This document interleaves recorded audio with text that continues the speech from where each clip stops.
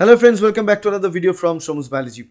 In this video, I'm going to talk about uh, the new rules uh, for a PhD in India. The UGC set new rules for PhD in India, although the notification came earlier uh, in November. It's like November, in the middle of November. But now we are making this video because here in this video, I'm not going to just tell you what is the new rule for doing PhD in India, but also whether this new rule is going to add some value or not and my opinion on that fact the the rule that has changed here the ugc set a rule for doing phd the eligibility for doing phd in india earlier was to have msc or msc equivalent master equivalent degree and you need to score 55% in that degree in order to be eligible okay in a general category. Now the modern new rule is if someone is from 4 year bsc program any of these program where the four year like btech courses most uh, common type. So four years bs or graduation program they are still capable or eligible for uh, the NET examination for doing phd if they get more than 75% in aggregate score or percentage in their four year graduation program. So earlier it was uh, the ms program or ms equivalent program with 55% eligibility 55% marks are eligible for were eligible for phd and now it is 75% in their four year bachelor's program are eligible for doing phd so basically to do phd you don't uh, you no longer need to do ms or master equivalent program if you have done four year graduation equivalent program. So four year graduation program means btech let's imagine we are talking about life sciences. So btech biotechnology 4 years BTech biotechnology student after that can go for PhD without MTech or any other MS program in the middle. So this is something new about the UGC norms for doing PhD in India. Now the question is, the question is always there like, now although we can do that, right? Students can do that, but is it good for the research? Is it good for the future generation? Because the thing is, earlier the MSc course is always a thought to be a connected course or connecting course. It's connecting your graduation with a research work that is PhD. And the middle one, that is the MSc, that is the bridge course.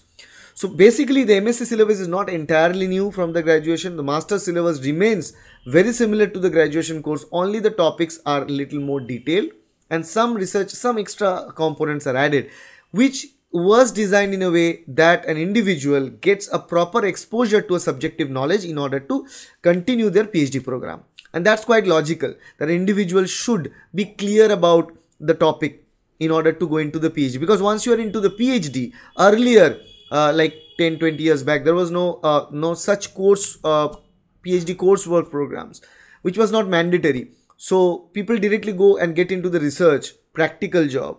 In that case, they need to have proper theory guidance to be done or to be known before uh, going into the PhD. But now there is a coursework mandatory for PhD. So that is one there. So obviously whatever thing you need to be understood will be provided during your coursework of PhD.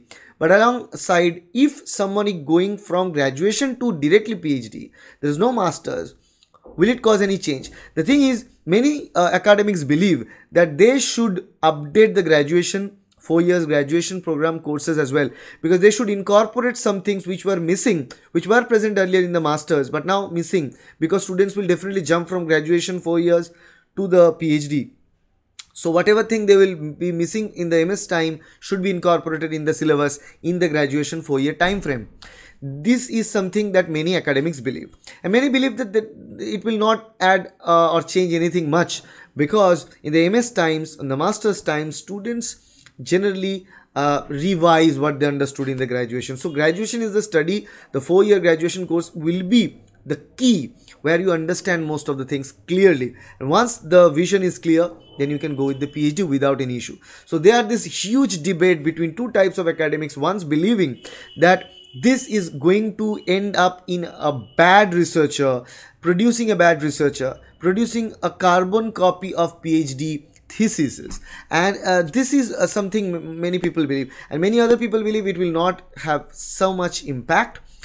Instead what will have that yes during ms program and phd there is always a contact and understanding of the subject. That contact game means uh, when the students build contacts well multidisciplinary science uh, can be properly enjoyed by the students, particularly in field like life sciences. So those opportunities are something lacking. So if any accessory, uh, any accessory idea to incorporate any of this uh, multidisciplinary science and incorporation can be done, which would be better, but this will not lead to any harm. So this is what people are saying. Two different uh, type of people are saying. But remember one thing, in our education system, the idea is always based on this fact that uh, those who are saying that there won't be any impact are giving numerous examples. Examples of heavyweight academics heavyweight researchers in india uh, who are from indian colleges and universities are only doing they have already done uh, the btech they've only done the four years graduation program and then phd and now they are occupying some big positions. And now not only they're occupying big positions but also they became uh, big researchers they became big name in the field of research as well as academics. So you know the good students uh, will always find their way to reach the top the pinnacle.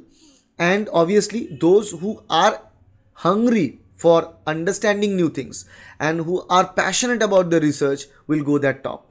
And those who are not hungry for learning and are not passionate about for their research work will struggle and automatically will be filtered out. So that's what we believe uh, this new rule for phd is going to do. So again it's a good thing for many of you who are currently in the graduation four year course but you need to score more than 75% in a general category. So that's all about this video. If you like this video please hit the like button share this video with your friends and subscribe to this channel to get more videos like this in future. Thank you. Bye